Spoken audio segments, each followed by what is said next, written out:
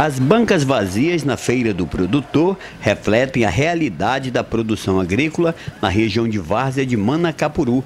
O produtor perdeu o que plantou para a cheia, que alagou 100% da plantação.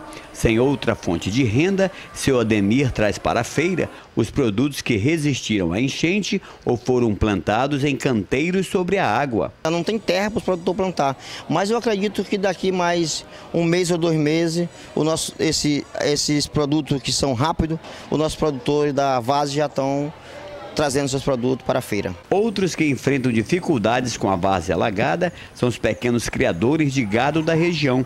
Quem não conseguiu levar o rebanho para a terra firme enfrenta dificuldades para manter vivos e alimentar os animais.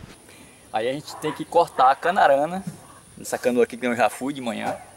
Corto duas canoas, uma de manhã e outra de tarde, para alimentar eles, porque senão com o gado exposto aos perigos das águas, jacarés que tentam atacar o rebanho são abatidos e os cuidados são redobrados para não perder animais para a cheia. É cinco, seis, noites, seis vezes na noite que eu tenho que me levantar, querendo ou não, mas eu tenho que ir lá. Por quê? Pra botar pra cima, porque não, não alcança a terra, esse cara morrer afogado.